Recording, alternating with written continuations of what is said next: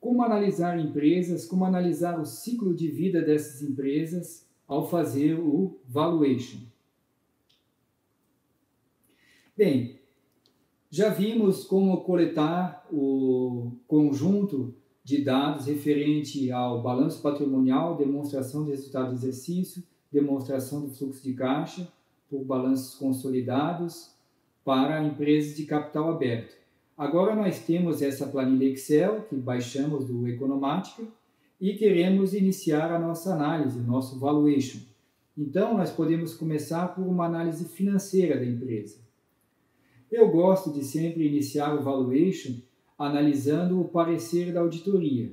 Por quê? Porque se a auditoria deu um parecer que a, os balanços estão com erros ou que foi detectada alguma fraude no balanço, então eu já nem inicio a minha análise dessa empresa, do valuation, porque significa que os dados que eu coletei não são fidedignos. Mas se a auditoria forneceu um parecer, se é uma auditoria reconhecida, que faz parte de uma, uma das Big Four, ou seja, das quatro maiores empresas de auditoria, se é uma empresa reconhecida no mercado, e ela fez a auditoria dos balanços e disse que está tudo ok, que não tem fraude dos balanços, que não tem nenhum erro, então eu posso fazer o início da minha análise financeira. Por isso eu gosto de iniciar sempre a minha análise do valuation uh, pelo relatório de auditoria. É um relatório curto, costuma ter uma página e meia, duas páginas, bem rápido de ser lido e com base nisso nós temos informações interessantes para verificar se podemos utilizar esses dados que nós coletamos do Economática. Então, nós temos aqui uma planilha já baixada do Economática. Eu tenho uma planilha uh, modelo com os cálculos já feitos no arquivo Excel, com a programação toda já feita dentro da planilha Excel, e nós podemos uh, buscar a planilha economática e essa planilha modelo para que a gente possa puxar os dados do, da planilha economática para esse modelo e assim a planilha já faz o cálculo automático de vários indicadores do valuation.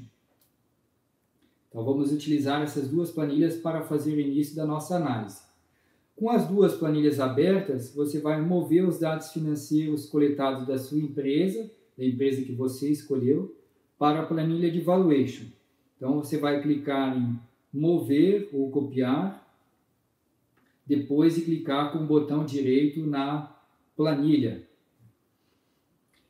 Depois você seleciona qual a pasta que vai ser a pasta de destino, então eu quero segmentar a movimentação para a pasta de destino planilha uh, ifenvaluation.xlsx e vou pedir para mover para o final. Então, clique em mover para o final. Depois, basta clicar OK. Agora, com os dados da planilha do Valuation, a gente pode começar a análise.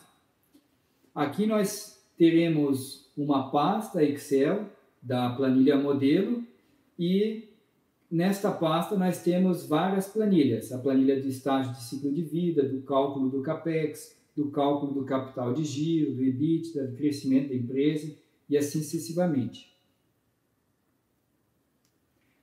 Para analisar os estágios do ciclo de vida, nós vamos uh, fazer com base num estudo feito por Dickinson em 2011. Então, Dickinson disse o seguinte: o fluxo de caixa dividido em fluxo de caixa operacional, fluxo de caixa de investimento e financiamento. Então, no nascimento da empresa, no estágio inicial da empresa, o fluxo de caixa operacional tende a ser negativo, de investimento negativo e de financiamento positivo.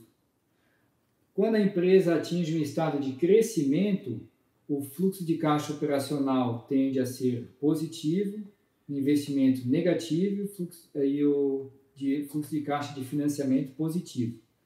Quando a empresa atinge um grau de maturidade, já é uma empresa que tem todo o seu parque operacional montado, já está dando lucros recorrentes, distribuindo dividendos, quando ela atingiu esse estágio de maturidade, ela tem o fluxo de caixa operacional positivo, fluxo de caixa de investimento negativo e de financiamento negativo.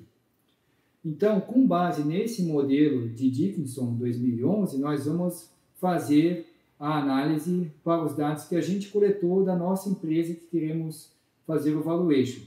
Para isso, a gente precisa dos dados da demonstração do fluxo de caixa, da DFC. E ela é encontrada nos dados que a gente coletou no Economático. Então, nós temos aqui o fluxo de caixa já consolidado, temos os períodos nas colunas, fluxo de caixa para 12 meses, caixa gerado por operações, caixa gerado por investimentos e caixa gerado por financiamento. Ou seja, o operacional, o de investimento e o fluxo de caixa de financiamento, tal como aqui na tabela mostrada uh, por Dickinson. Vejam aqui que para, para cada um dos períodos nós temos valor positivo ou negativo visualizado. E nós vamos comparar isso uh, com o modelo de Dickinson para verificar de que forma a empresa se encontra, qual é o estágio de ciclo de vida que a empresa se encontra. Então, a demonstração do fluxo de caixa foi coletada no Economático e para análise do ciclo de vida é fundamental. Aqui nós analisamos o caixa líquido de atividades operacionais, o caixa líquido de atividades de investimento e caixa líquido de atividades de financiamento. Então, fazendo o mesmo modelo de Dickinson, nós aqui verificamos que o sinal é positivo, portanto colocamos sinal de mais sinal negativo, colocamos sinal negativo aqui embaixo, e sinal positivo uh, também. Isso indica que a empresa está no estágio de crescimento. Vamos ver para o ano seguinte: sinal positivo, negativo e positivo. Também indica sinal de crescimento. Sinal positivo, negativo e positivo, estágio de crescimento, e no ano de 2018 ela atingiu a maturidade, pois o caixa líquido com atividades operacionais foi positivo, caixa líquido com atividades de investimento foi negativo e caixa líquido com atividades de financiamento foi negativo. De acordo com o modelo de Dickinson, quando atinge esses sinais para caixa líquido, atividades operacionais, investimento e financiamento, a empresa atingiu o grau de maturidade. Então, para esse exemplo, nós analisamos os dados dos anos 2015, 16, 17 e 18. Você sempre precisa analisar para uma série temporal para verificar como foi a oscilação dos dados ao longo do tempo. Então, para a análise dos estágios de ciclo de vida, você precisa utilizar o modelo de Dickinson e você vai comparar os dados do demonstrativo do fluxo de caixa com os sinais apresentados e dessa forma poderá verificar e identificar em qual grau do ciclo de vida a empresa se encontra.